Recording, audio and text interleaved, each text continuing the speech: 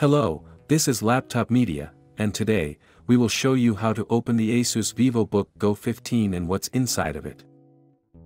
To get inside this notebook, you need to undo a total of 10 Phillips head screws. Then, pry the bottom panel with a plastic tool, starting from one of the front corners.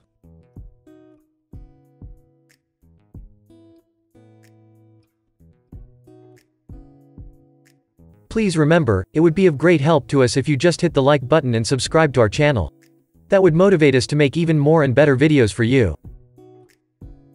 Inside, we find a 42 watt-hours battery pack. It lasts for 8 hours and 30 minutes of web browsing, or 9 hours of video playback.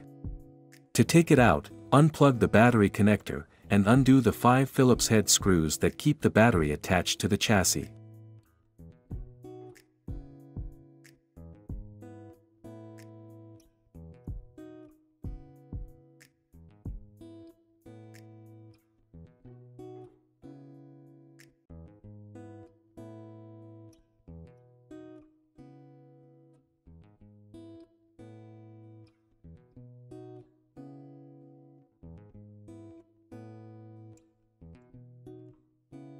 This notebook's memory is soldered to the motherboard.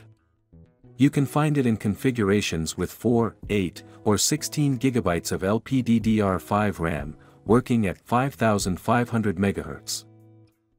In terms of storage, you get one M.2 PCIe X2 slot, which works with Gen 3 SSDs.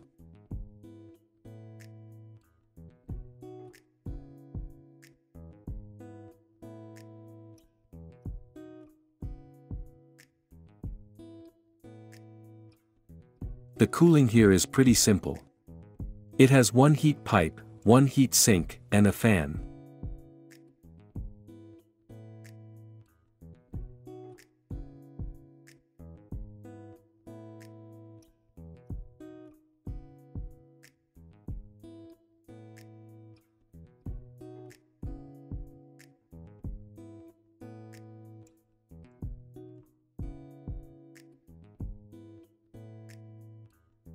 If you'd like to see more disassembly videos of the latest notebooks we would highly appreciate if you hit the like button and subscribe to the channel.